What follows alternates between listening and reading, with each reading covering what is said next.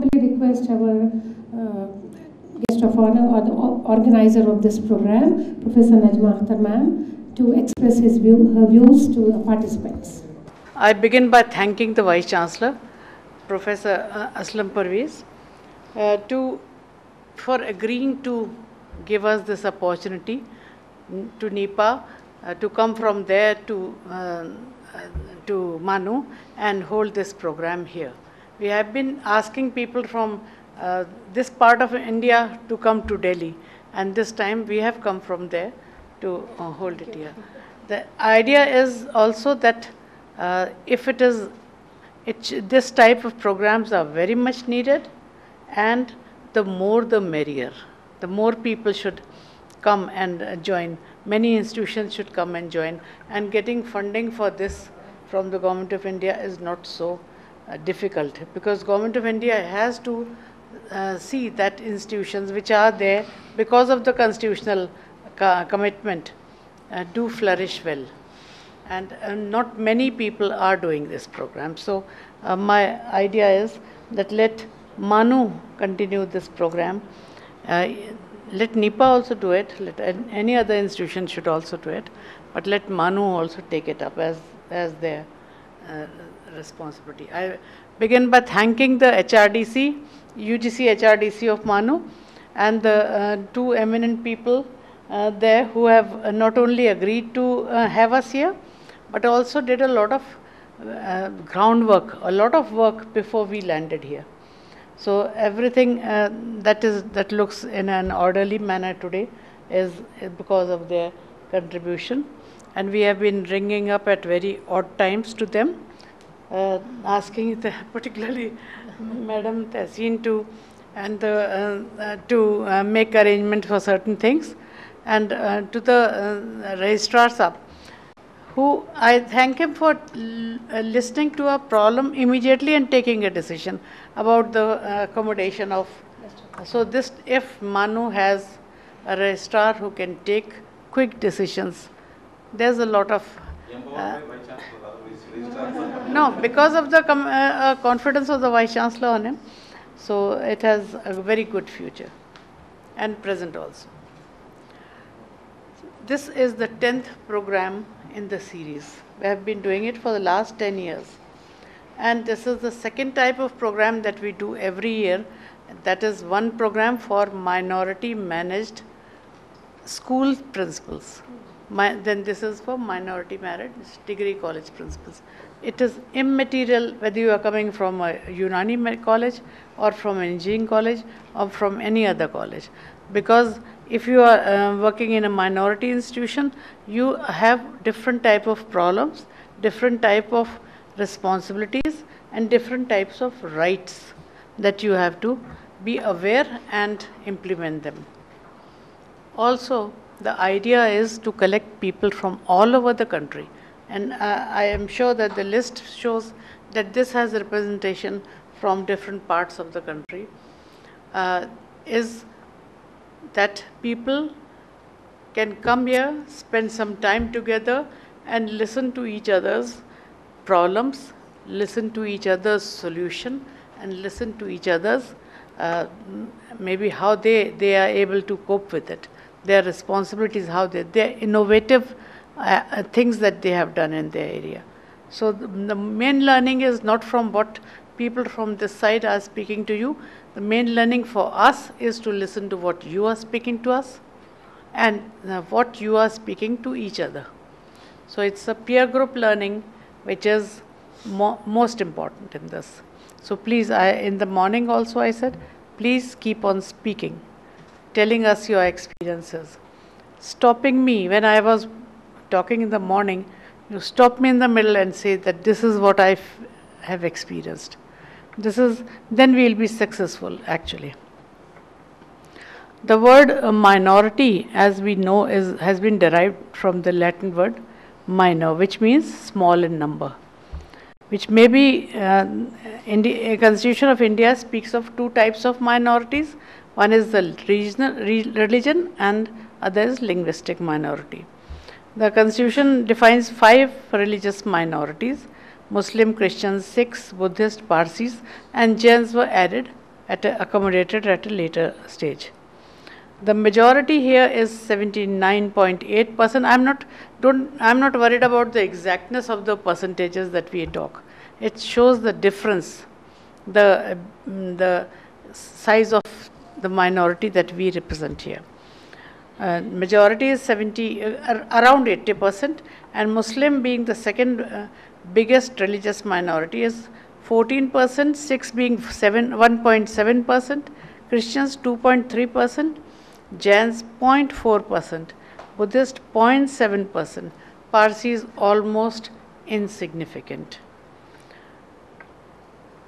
The, therefore, all these minorities, as, as they are given some rights and their duties under the constitution, they demand for a pluralistic nation and an equal treatment as a citizen of India.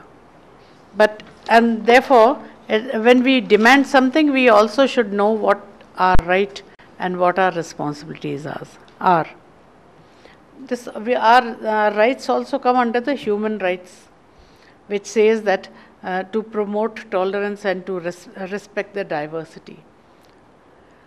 We um, Muslims are the highest in India. When you see the uh, education scenario, Muslims are the highest percentage of illiterates which is 43%. And Jains are the highest literate, which is 86.4%, which is much, much more than the national average itself. And therefore, what one, I keep on referring to another minority is if they can attain it, why can't this minority do it? Every minority has its limitations. Every minority has its upper and lower points. But if they can try, and they, uh, we can also try and uh, reach there. Such occasions are to discuss why we have, we are not able to uh, reach that level and how we will try to reach that level. Christians literacy is 74.3%, again much more than the national average.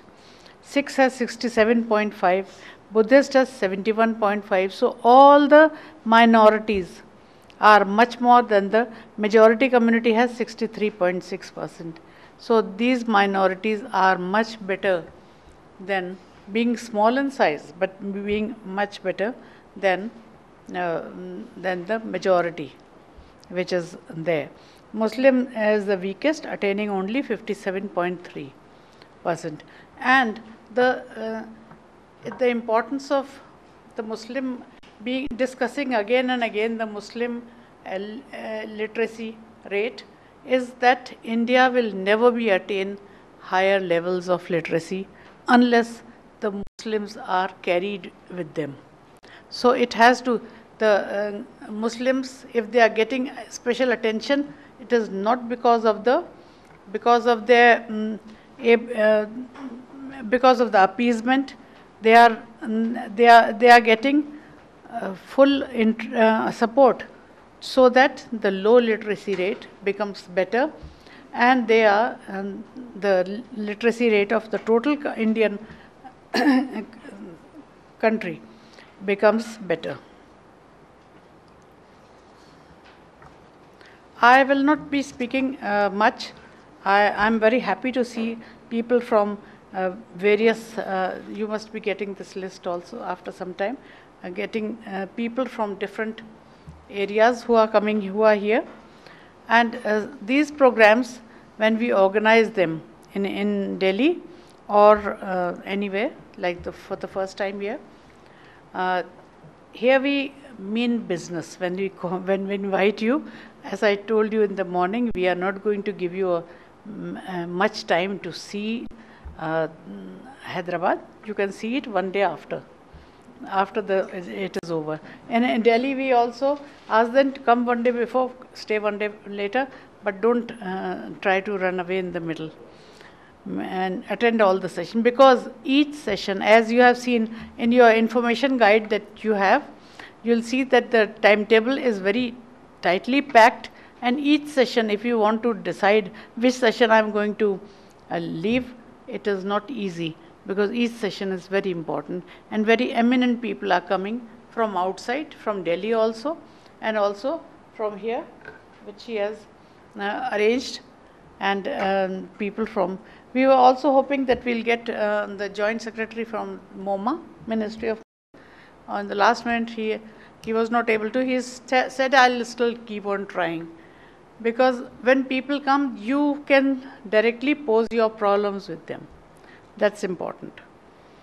The objectives of this program is to acquaint the principals or the administrators because I, you can see that some administrators uh, who, who are not principals but working as administrators in one way or the other are become aware of the changing scenario of higher education because higher education nowadays in India is changing at a very very fast pace. And um, uh, that you will never be uh, knowing if you're engaged in your routine work so it's good time you get uh, 5 days to sit together and see how it is changing and why it is changing We'll also be trying to see the issues related to minority in higher education with special reference to Muslim minorities. Techniques of planning and management for institutional development.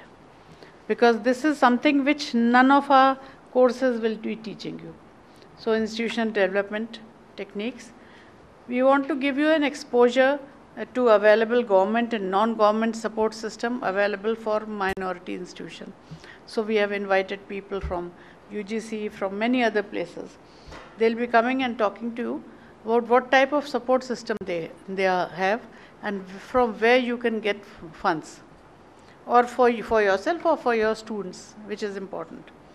And because it has been found that students who complete uh, class 12th, Muslim students, if they complete class 12th, they do better in uh, university system. Because the important thing is give them a push at the class 12th level. Although that is not your concern but when we uh, talk about it in the school um, program we give a lot of attention to that because comparatively seeing their um, performance it is better if they are able to get into university because in university they are not so they are not dropping out. And the most important thing is, uh, through this program, we uh, facilitate that everybody learns from the experience of the other. So every uh, day, every day after the, before the um, sessions close, the last session is dedicated to learning from each other, learning experience. And today also we'll be having it.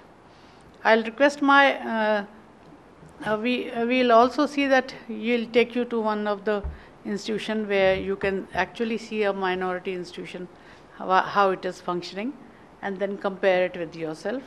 I'll request my uh, colleague Professor Panda to give more details about the program uh, so that it is quite clear how we intend to do the program. And I thank the uh, thank MANUU and its officials and the Vice Chancellor uh, to again, before I uh, finish, and look forward for working with you for a long, long time.